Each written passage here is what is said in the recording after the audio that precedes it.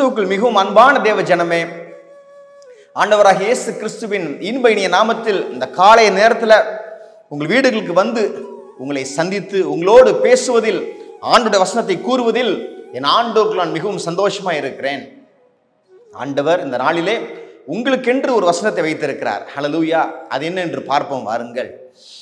சகரியாவின் தீகிருஷ்ண புஸ்தகம் பத்தாவது அதிகாரம் பன்னிரெண்டாவது வசனத்தின் முன்பகுதி. நான் அவர்களை கர்த்தருக்குள் பலப்படுத்துவேன். ஆண்டு சொல்றாரு அவர் உங்களை கர்த்தருக்குள் தனக்குள்ளே பலப்படுத்த போகிறார். அதுக்கு நீங்க விட்டு கொடுக்கணும். ஹலலுயா என்ன விட்டு கொடுக்கணும்? உங்கள் நண்பர்களுக்குள் அதாவது நண்ப நண்பர்கள் கூட்டத்துக்குள் இருப்பது உங்களுக்கு பலன் அல்ல. உங்கள் குடும்பத்துக்குள் இருப்பது உங்களுக்கு பலன் அல்ல. இல்லை என்றால் ஒரு பெரிய அதிகாரி கூட்டத்தோடு இருப்பதும் உங்களுக்கு பலன் அல்ல. ஆனால் கர்த்தருக்குள் இருப்பது உங்களுக்கு பலனாக இருக்கிறது. ஹalleluya எஸ் யோவான் பதினைந்து நாலு ஐந்து சொல்லுகிறது என்னில் நிலைத்திருங்கள் என்று ஆண்டு சொல்றாரு. நானும் உங்களில் நிலைத்திருப்பேன். கொடியானது திராட்சை செடியில் நிலைத்திராவிட்டால் அது தானே கனி கொடுக்க மாட்டாது. அதுபோல நீங்களும் என்னில் நிலைத்திராவிட்டால் கனி கொடுக்க மாட்டீர்கள். நானே திராட்சை செடி நீங்கள் கொடிகள் ஒருவன் என்னிலும் நான் அவனிலும் நிலைத்திருந்தால் அவன் மிகுந்த கனிகளை கொடுப்பான். எஸ் பாருங்க ஆண்டவர் என்ன விரும்புகிறாரு நீங்க அவரோடு ஐக்கியமா இருக்கிறோம். எப்படி ஒரு திராட்சை செடியும் கொடியும் எப்படி சேர்ந்திருக்கும்? அது மாதிரி நீங்க அவரோடு சேர்ந்திருக்கணும்ட்டு அவர் விரும்புறாரு. ஹலலூய் அப்பொழுதுதான் நீங்க அதிகமான கனிகளை உங்க வாழ்க்கையில கொடுக்க முடியும். You can be fruitful only when you abide in him நீங்க எப்பொழுது கனி கொடுப்பீங்க? அவருக்குள் நிலைத்திருக்கும் பொழுது நீங்க கனி கொடுப்பீங்க. கர்த்தருக்குள்ளா இருங்க ஹலலூயா பாருங்க. ஒன்று சாமுவேல் பதினேழு முப்பத்தி ஒன்பது நாற்பது சொல்லுகிறது. அவனுடைய பட்டயத்தை தாவியது தன் வஸ்திரங்கள் மேல் கட்டிக்கொண்டு அதிலே அவனுக்கு பழக்கம் இல்லாததினால் நடந்து பார்த்தான். அப்பொழுது தாவிது சவுளை நோக்கி நான் இவைகளை போட்டுக்கொண்டு போகக்கூடாது.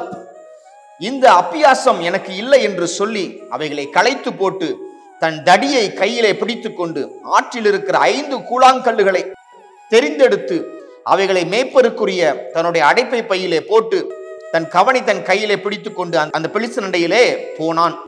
இங்கு கோலியாத்து நிற்கிறான். எல்லா இஸ்ரவேலர்களையும் பயமுறுத்திக்கிட்டு இருக்கிறான். தாவி இது வாலிபன் போறாரு.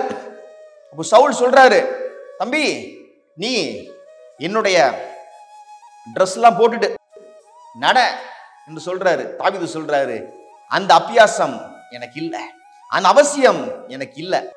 என்னோடு இருப்பது தேவன். ஹலலூயா நான் கர்த்தருக்குள் பலப்பட்டிருக்கிறவன். நான் எப்பொழுது சங்கீதங்களை பாடுகிற ஒரு மெய்ப்படா இருக்கிறேன். ஹலலூயா நான் ஆண்டவருக்குள் பலப்பட்டு இருக்கிறேன் ஹலலூயா அப்போ அவர் சொல்றாரு நான் ஆண்டவருடைய நாமத்துல போவேன். ஒரு மனுஷன் கர்த்தருக்குள் இருந்தால் எப்படி தெரிந்து கொள்ளலாம்? கொஞ்சம் எஃபர்ட்டு கொஞ்சம் ரிசோர்சஸ் அதோடு அவங்க பெரிய காரியங்களை செய்வாங்க. எல்லாம் காஸ்ட்லியா வைத்துக்கொண்டு சிலருக்கு ப்ராஃபிட் எடுக்க முடியாமல் இருக்கும். ஆனால் சிலர் அப்படி அல்ல. கொஞ்சம் தான் அவங்களுடைய முதலீடு இருக்கும். அவங்களுடைய லாபம் அதிகமாக இருக்கும். ஆண்டவர் அப்படிப்பட்ட ஜனங்களாய் உங்களை இந்த காலை நேரத்தில் மாற்றப் போகிறார். Hallelujah with minimum effort and resources you are people who will take a profit அப்படிப்பட்ட ஜனங்களாய் ஆண்டு உங்களை மாற்றப் போகிறார். கொஞ்சம் ரிசோர்சஸ் கொஞ்சம் முயற்சி ஆண்டவர் அதை வாய்க்க பண்ணி உங்களை ஆஸ்வதிக்க போகிறார். நடந்தது என்ன? கோலியாத் வீழ்ந்து போனான். தாவீது வெற்றி எடுத்தார். அவருடைய நேம் ஃபேமஸ் ஆயிருச்சு. ஹலலூயா எஸ் பாருங்க. அப்புறம் அன்னாள் என்கிற அந்த ஸ்திரீயை பார்க்கிறோம். அழுது கொண்டிருக்கிறாங்க. ஹலலூயா அந்த அவங்களுடைய கணவனுடைய இன்னொரு மனைவி அவங்கள ரொம்ப பேசுகிறாங்க பேசுறாங்க உனக்கு குழந்தையே கிடையாது அப்படின்னு சொல்றாங்க. அவங்க என்ன செஞ்சாங்க? கர்த்தருக்குள் பலப்பட்டார்கள். தேவனுடைய ஆலயத்துக்கு போனாங்க. இங்கே ஷீலோக்கு போய் ஜெபிச்சாங்க. கண்ணீர் விட்டு தன் இருதயத்தை ஊற்றினார்கள். கர்த்தருக்குள் பலப்பட்டார்கள். அவங்க பின்பதாக துக்க முகமா இருக்கவில்லை என்று நாம் பார்க்கிறோம். தாவிது சிக்லாக்ல இருக்கும் பொழுது தன்னோடு இருந்த எல்லா ஜனங்களும் கல்லறிய மு- முயற்சி பண்றாங்க. ஏன்? அவங்களுடைய மனைவிகள் பிள்ளைகள் எல்லாரையும் தூக்கிட்டு போயிட்டாங்க. ஒரு கூட்டம் வந்து எதிராளி கூட்டம் வந்து அப்பொழுது தாவியது பரிசுத்த வேதாகம் சொல்லுகிறது. ஒன்று சாமுவேல் முப்பது ஆறாவது வசனம் சொல்லுகிறது. தாவியது தன் தேவனாகிய கர்த்தருக்குள் தன்னை திடப்படுத்தி கொண்டான். எஸ் எல்லாரும் உங்களை விட்டு போனாலும் ஒருவர் மாத்திரம் போக மாட்டார். கூட இருப்பார். யார் தெரியுமா? ஆண்டவராக இயேசு கிறிஸ்து.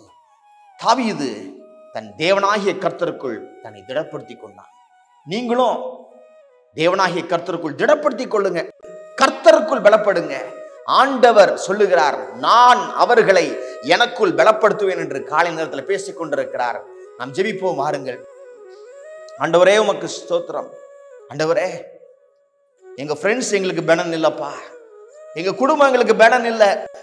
எங்க குடும்பம் எங்களுக்கு ஆசீர்வாதம். ஆனால் நீங்கள் தான் எங்களுக்கு பலன் அப்பா. எனக்கு அவனை தெரியும் இவங்கள தெரியும். அந்த அதிகாரியை தெரியும் இந்த அதிகாரி தெரியும் இல்லைப்பா நீங்கள் தான் எங்களுக்கு பலன். நீங்கள் தான் எங்களுக்கு பலன் ஆண்டவரே.